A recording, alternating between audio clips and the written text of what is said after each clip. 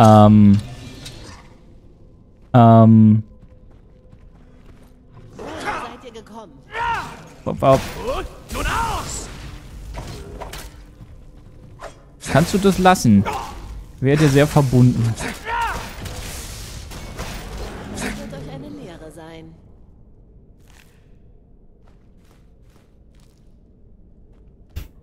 Suddenly Bossfight. Ja, es äh,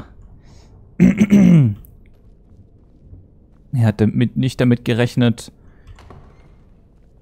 dass wir unsere Waffen mitgebracht haben.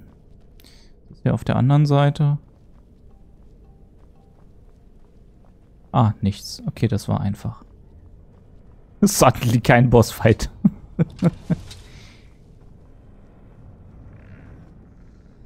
Wer ist da? Schuld war nur der Bossa Nova. So sieht's nämlich aus. Das wird euch Lehre sein.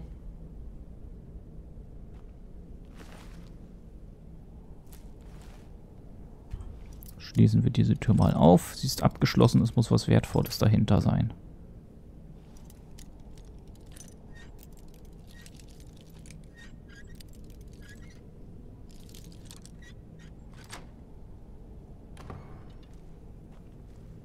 Zum Beispiel eine Laterne. Das ist äh, sehr wertvoll. Oh, ein Dietrich. Und Gold. Dietrich in diesem Stream belebt wie, beliebt wie eh und je. Da bin ich mir sicher.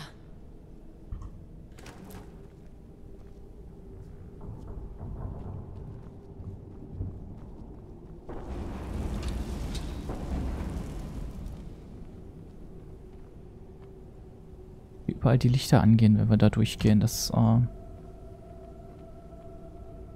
Aber bedenken. Wer ist da? Gut, nun aus! Was gehört habe?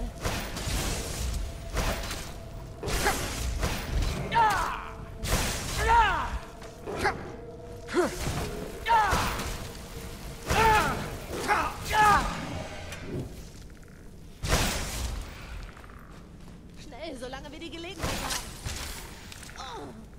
Ach, da oben. Passt mal auf, passt mal auf.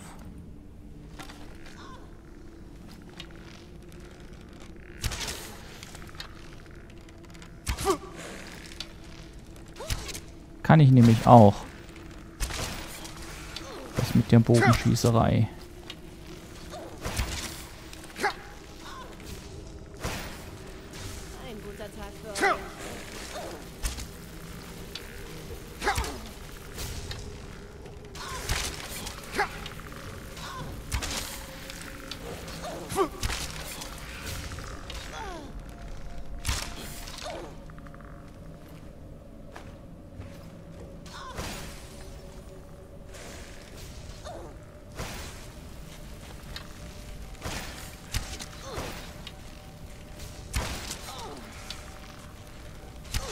Das Gefühl, sie hatten ein paar Schwierigkeiten. Komm nicht ganz drauf, warum.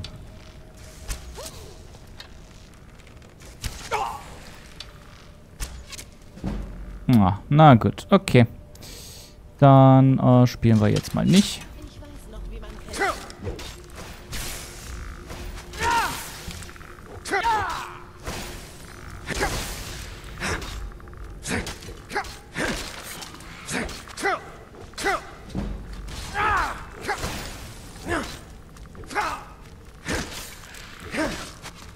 Ja, man merkt direkt, mit den Waffengattungen, die wir nicht geskillt haben, haben wir hier direkt Schwierigkeiten.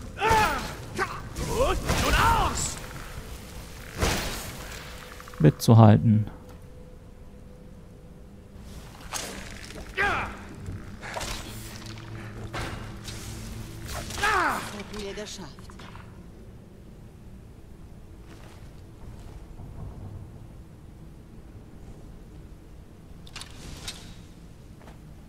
wollte gerade sagen, du Serena, da steht was hinter dir, aber ich glaube, das wusste sie.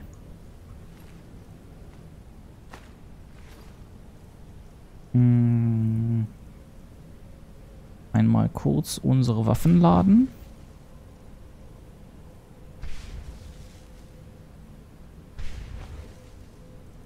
Hm. Zack.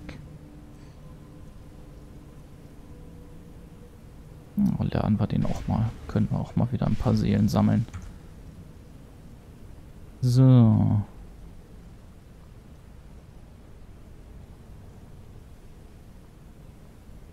Eine Laute.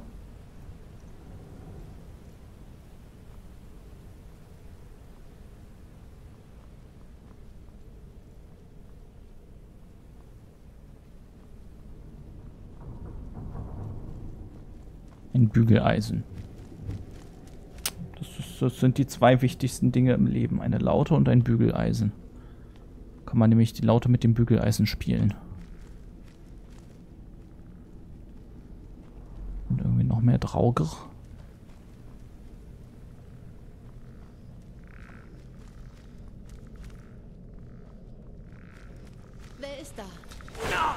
Frage, die ich mir stelle, ist wozu? Irgendeiner muss das hier ja alles gebastelt haben. Gargoyle sieht verdächtig aus. Aber jetzt trotzdem erst das Skelett. Ich weiß noch, wie man kämpft.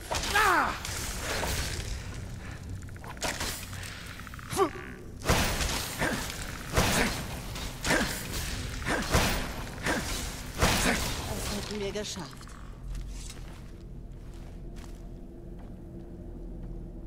Oh. Okay. Ist ganz prominent hoch. Ach so. Das Ira. Jedes Mal falle ich drauf rein.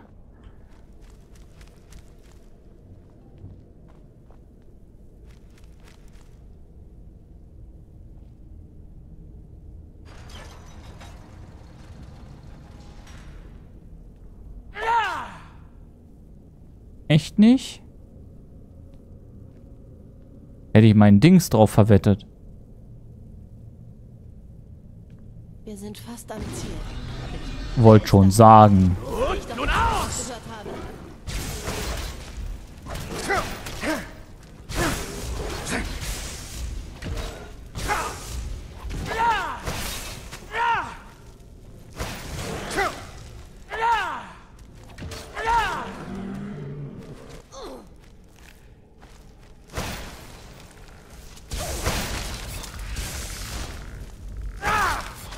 Euch eine Lehre sein.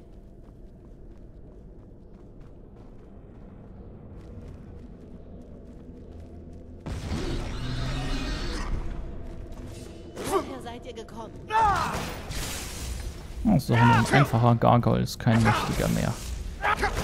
Da ging ihnen offensichtlich beim Bauen der Verteidigungsmaßnahmen die Puste aus. Ich weiß noch, wie man kämpft. Oh, mir geht aber auch langsam die Puste aus, muss ich ja mal sagen. Aber Serrana macht den Rest. Kein Problem. Der hat ihn in die Flucht geschlagen.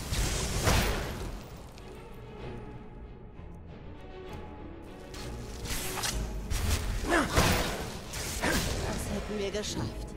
So.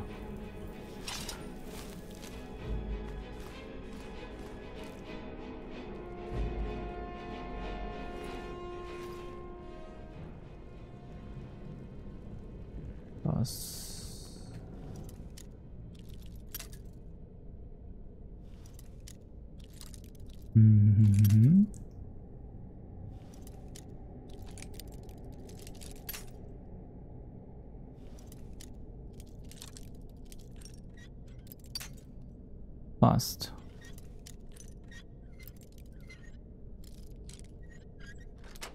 Da. Okay, da geht's weiter. Ist die große Frage.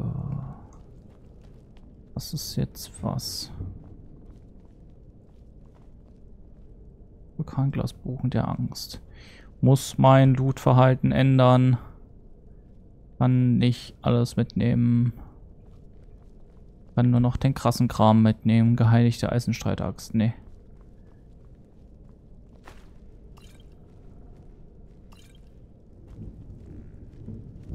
Einfach mehr auf Stärke skillen. Nee, aber ich. Also. Das Ding tragen, das Zeug tragen, ist eine Sache. Bison.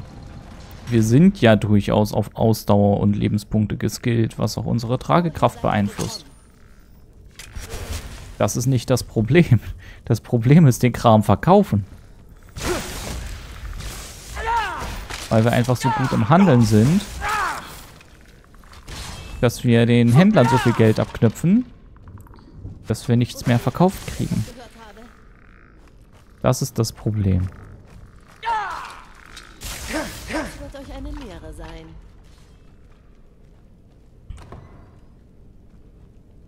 Ich erinnere mich an dieses First World Problem. Richtig.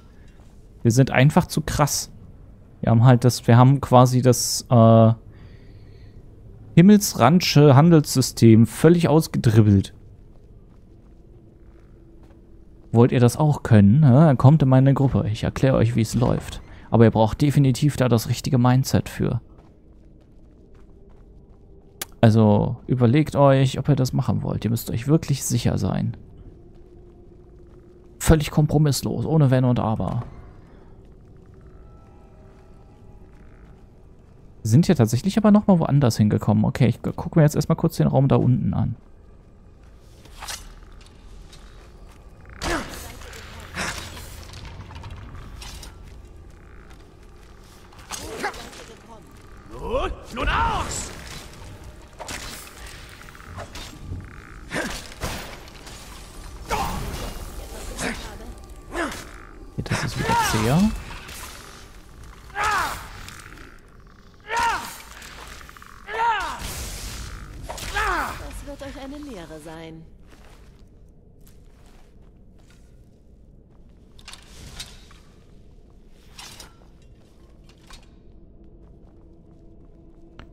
Springe jetzt mal nicht rein, weil ich nicht ganz erkennen kann.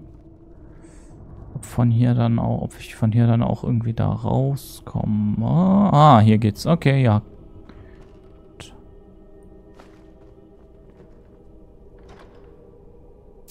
Dietriche.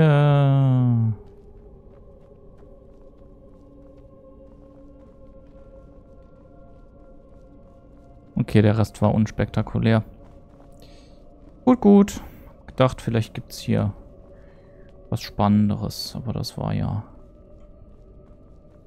überschaubar.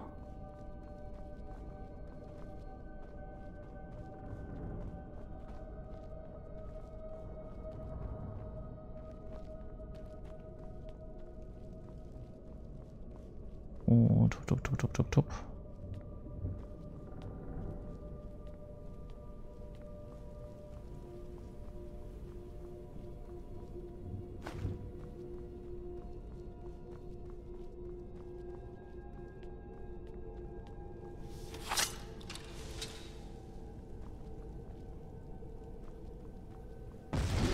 Oh nein, wie überraschend.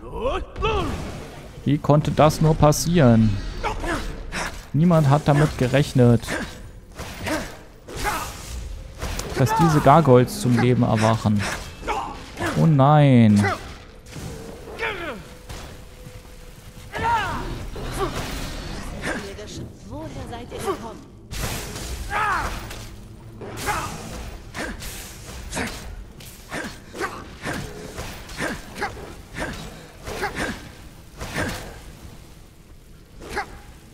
Nun, nun aus!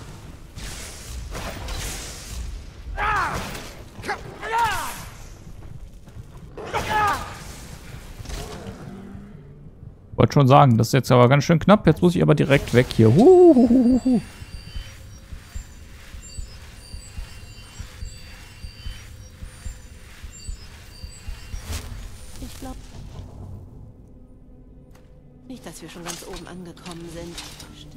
Hier noch eine Art Geheimgang. Gargoyles auf den Schwingen der Gerechtigkeit. Richtig. Genau so und nicht anders. Hier steht auch noch mindestens einer, mit dem ich rechnen würde.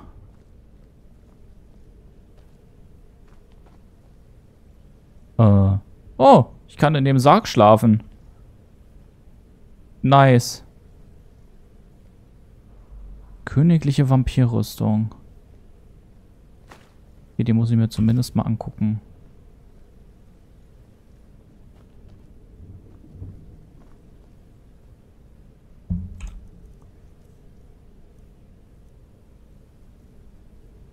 Magiker. Wow!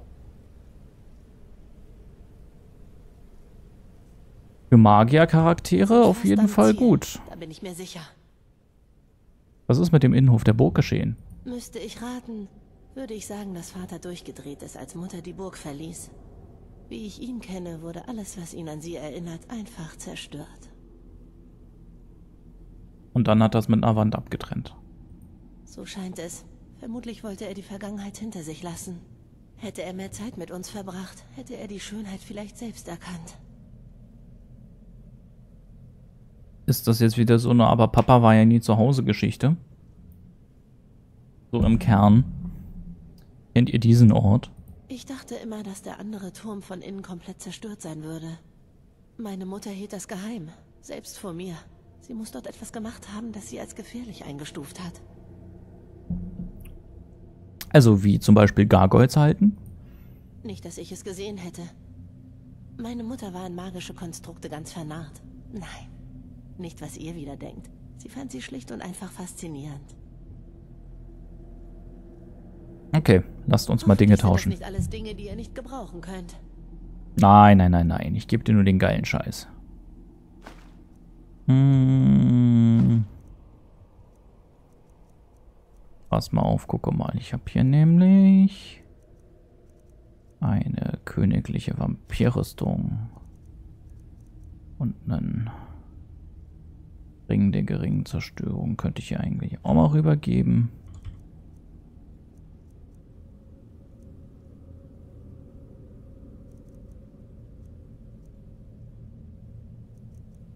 Hm. Hier die Vampir-Panzerhandschuhe. Die Vampirstiefel. Viel Spaß damit. Sieht aus, als sei meine Mutter gewitzter gewesen, als ich dachte. Ich frage mich, was sie versteckt hat. Scheint die Sachen aber nicht zu benutzen, aus irgendwelchen Gründen. Oder der Schutzgeistbeschwörung?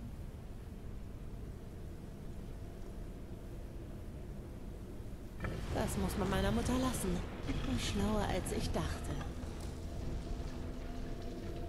Vielleicht ist das gar nicht unbedingt ein Verdienst deiner Mutter. Vielleicht ist das eher eine Nachlässigkeit von dir, dass deine Mutter immer schlauer ist, als du dachtest. Vielleicht hältst du deine Mutter einfach unrechtmäßig für bescheuert. Hast du da mal drüber nachgedacht?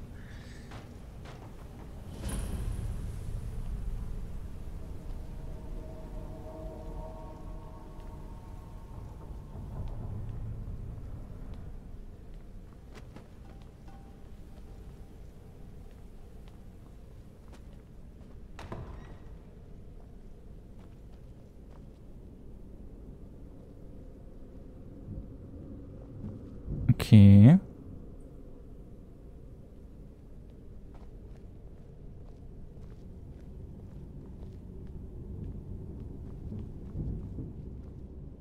Seht euch doch nur diesen Ort an. Das muss es sein.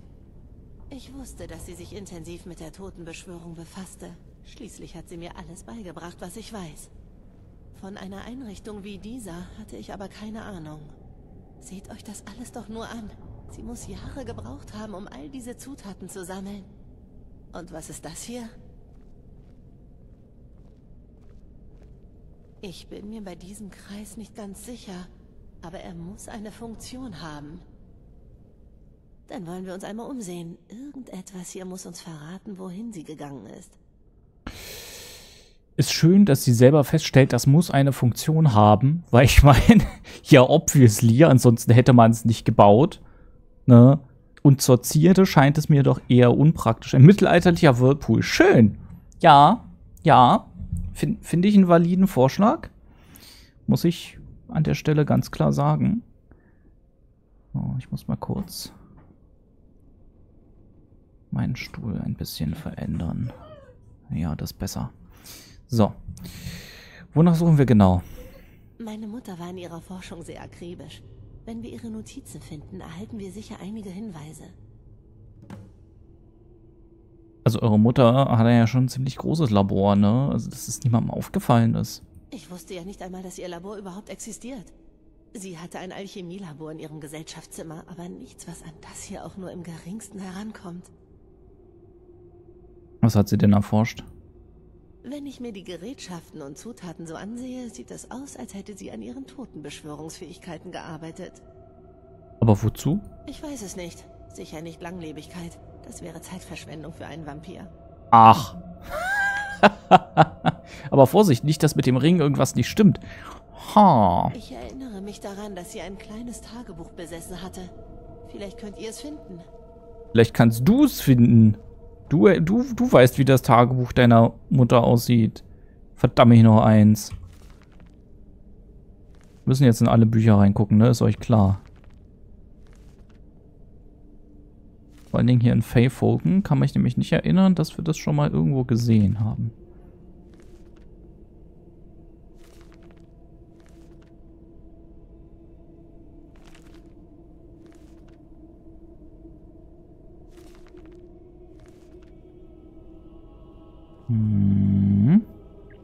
Valerikas Tagebuch. Letzte Saat.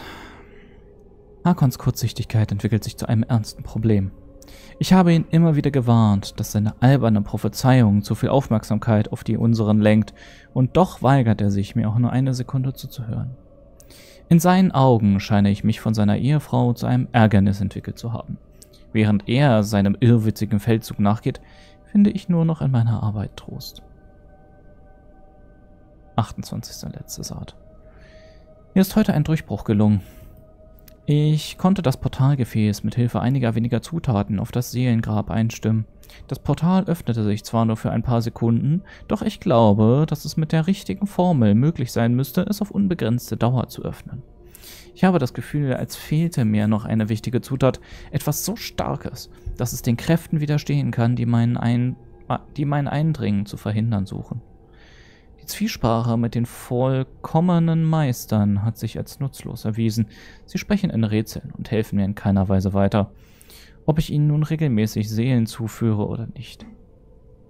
Wenn ich Harkons Umklammerung entrinnen will, muss ich das Portal lange genug öffnen, um von hier zu verschwinden. Bis in alle Ewigkeit, wenn das sein muss. Er hat also offensichtlich irgendwie versucht zu fliehen, konnte also nicht einfach so gehen. Interesting.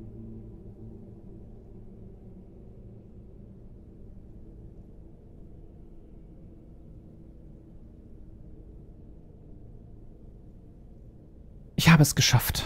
Nach tausenden von Zutaten, vermutlich verschwendete Gold...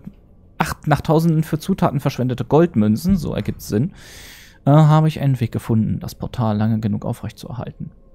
Zu meinem eigenen Schutz führe ich die Zutaten unter unten ohne Mengenangaben auf. Als zweite Sicherheitsmaßnahme integriere ich mein eigenes Blut in die Formel. Das sollte verhindern, dass jemand sie kopiert und mir ins Seelengrab folgt. Die Formel enthält folgende Zutaten. Fein gemahlenes Knochenmehl, gereinigtes Salz der Leere, ein Seelensteinsplitter. Das sind alles Sachen, die haben wir zu Hause vorrätig. Obige Zutaten müssen im richtigen Mengenverhältnis in das Portalgefäß mit dem Silberstreif gegeben werden. Dann muss nur noch Blut als Wirkstoff hinzugefügt werden.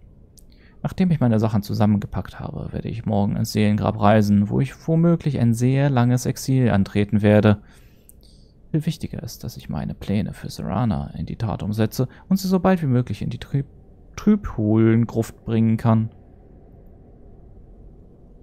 Okay, das heißt, sie hat sie da eingesperrt. Wir nehmen das Buch mal mit sicherheitshalber. Sie hat sich selbst ins Seelengrab teleportiert. Warum sie nicht einfach gelaufen ist, weiß ich zwar nicht, aber das kriegen wir ja vielleicht noch raus.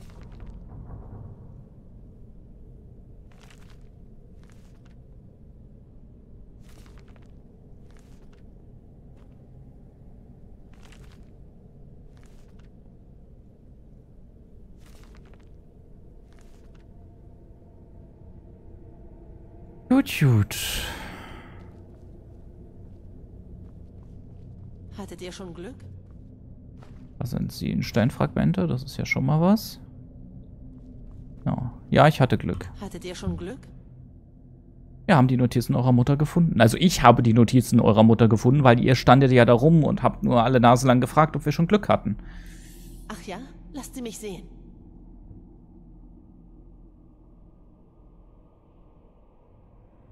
Na gut. Was ist denn dieses Seelengrab, von dem sie spricht? Ich weiß nur, was sie mir erzählt hat. Sie hatte eine Theorie über die Seelensteine. Sie glaubte, dass die in den Steinen wohnenden Seelen nach ihrem Gebrauch nicht einfach verschwinden, sondern im Seelengrab landen. Okay. Das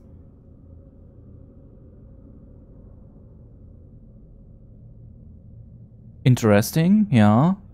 Warum macht sie sich Gedanken darüber, wohin verwendete Seelen gehen? Okay, das verstehe ich wiederum, warum sie das macht. Das Seelengrab beherbergt äußerst mächtige Wesen. Die Totenbeschwörer spielen ihnen Seelen zu und erhalten im Austausch dafür besondere Kräfte. Mutter hat lange versucht, direkt mit ihnen in Verbindung zu treten, um selbst zum Seelengrab zu reisen. Wenn sie es bis dorthin geschafft hat, werden wir sie finden. Ach so? Dieser Kreis in der Mitte des Raumes ist definitiv eine Art Portal. Wenn ich das hier richtig lese, gibt es eine Formel, durch die wir sicher in das Seelengrab gelangen können. Ja, offensichtlich. Was brauchen wir? Eine Handvoll Seelensteinsplitter, etwas fein gemahlenes Knochenmehl, eine ordentliche Prise gereinigte Salze der Leere. Oh, verdammt. Was ist los? Wir brauchen außerdem eine Probe ihres Blutes. Obwohl, wenn wir die hätten, würden wir das hier ja gar nicht erst versuchen.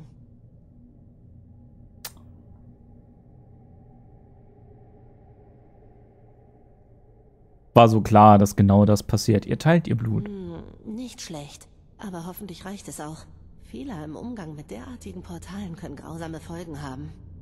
Wie auch immer, genug davon. Lasst uns anfangen. Sind das alle benötigten Zutaten? Wir haben quasi alles am Mann. Auf jeden Fall. Mutter hatte jede Menge dieser Zutaten in ihrem Labor. Ihr müsst sie nur finden. Ach so, das war noch nicht, dass hier sind übrigens alle Sachen, sondern es war nur die Bestätigung, dass das diese Dinge sind, die wir brauchen. Na gut. Ähm, auf dem Balkon wollen Habt wir jetzt Mühe, nicht.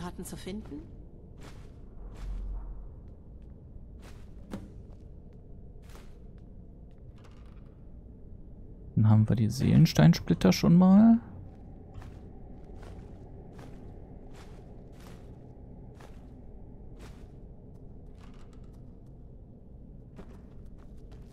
Habt ihr Mühe, diese Zutaten zu finden? Weiß ich nicht, du könntest helfen, anstatt da rumzustehen. Wie wär's?